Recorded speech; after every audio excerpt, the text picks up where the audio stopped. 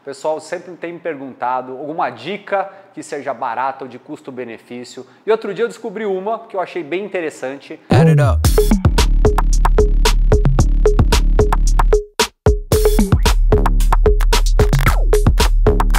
Add it up.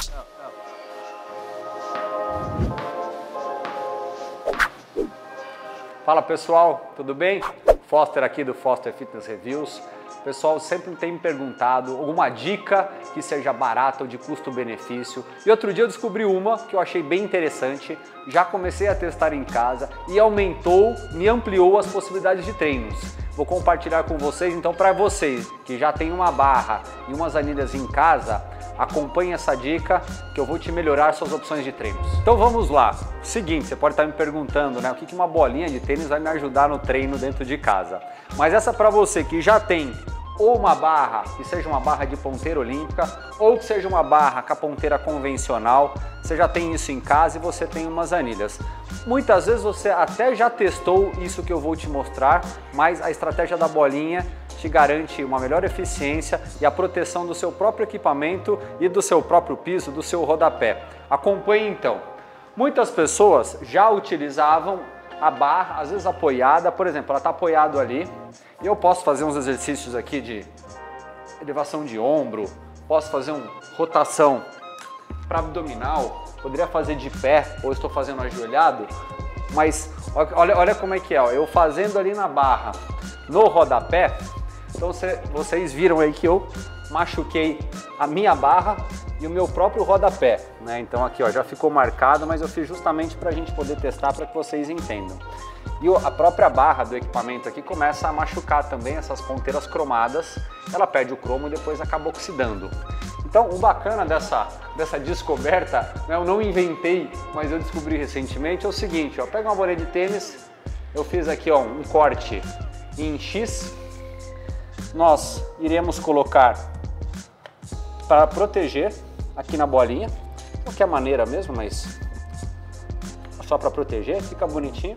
Agora eu estou apoiando ali, então ali estou com a minha, com a minha, com o meu rodapé, com a minha barra protegido. Qualquer exercício que eu fizer ali, eu não estou mais machucando o meu piso. Então posso fazer a rotação, estou protegendo o meu, a minha casa e estou protegendo a minha barra. E serve ali também, ó, serve aqui também para uma barra olímpica. Aqui eu fiz um furo maior. Você que tem uma barra de LPO boa, as barras de LPO são mais caras do que as barras tradicionais, né? Tem barras de LPO é, que eu vejo bastante por aí na faixa de mil, mil quinhentos. Existem barras de até quatro mil reais. Pega uma barra sueca da Eleiko, 4 mil reais. Então aqui estou novamente protegido também, tá? Nessa barra de LPO, essa daqui é uma barra da Stark, essa barra é na faixa de quase 1.500 reais. E algumas outras variações que eu vim testando para quem já tem tudo isso, ó. Um par de puxador que é uma coisa simples. Por exemplo, quero fazer uma remada cavalinho. Aí já é demais. Fica uma boa posição, é a mesma é a mesma remada que muitas vezes vocês estão acostumados a treinar na academia, às vezes tem uma máquina para isso. Aqui também eu posso colocar um pouco mais de anilha. Eu estou no mesmo exercício, eu só estou alterando a barra para quem tem barra de LPO e para quem tem uma barra convencional dessa, mostrando que dá para fazer em ambas. Por exemplo, se eu quiser trabalhar uma remada unilateral também.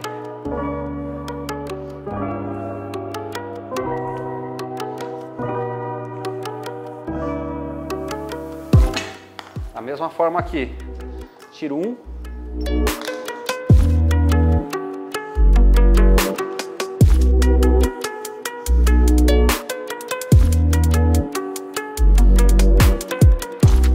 Perceberam? Estou dando algumas variações, todas elas estão focadas mais no treino de costas, que são os treinos de puxada, mas vocês veem como a minha variação aumentou, seja ela unilateral, seja ela simultânea.